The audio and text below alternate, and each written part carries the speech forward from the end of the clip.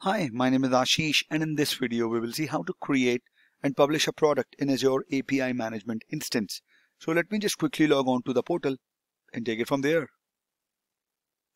I am logged on to the portal and here is my test Azure API Management service. And if you will see the products tab here under the API management settings, you know that we have created an API management services. We have uh, imported the API, we checked it as well. So this is your product section. Click on add. Mention in the display name. The name as the name should be as what you want to be shown in the developer portal. Mention that is test product. ID is also the text product. The description field allows us to provide detailed information about the product, such as its purpose, the API it provide access to and the other useful information. So you can, I'm going to go with anything as of now, but if you're deploying in production, make sure that you are writing the description sensibly.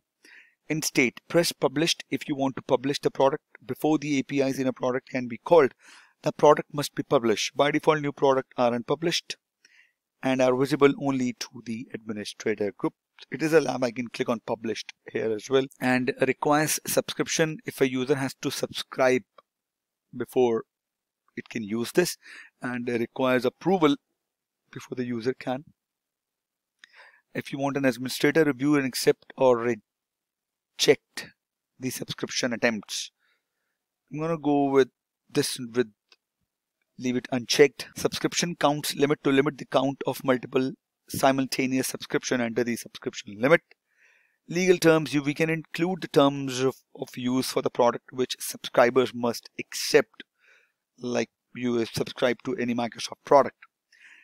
Products are association of one or more APIs. We can include a number of APIs and offer them to developers through the developer portal. We can add an existing API during the product creation. We can add an API to the product later as well. So I'm going to click on create. It is creating a new product. As you see on the top right corner, the notification.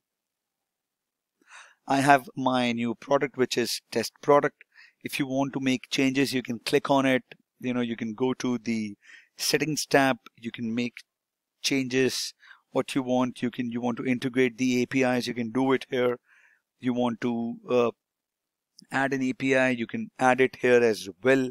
It will display your APIs that it's already there or the one that we created.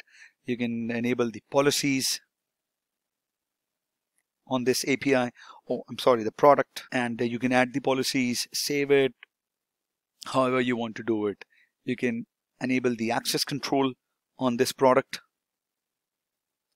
You can add a group administrators have the full access. You can add a group here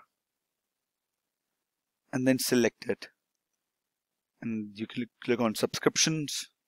You can add the subscriber. You can add a new subscription. Here and you uh, if you would say requires approval here will be the subscription that requires your approval. You can check on it approve it delete it as an admin whatever you want. So this is how you create a product and the API management services. I hope you liked it. I see you guys in the next video. Till then have a good day ahead. Bye bye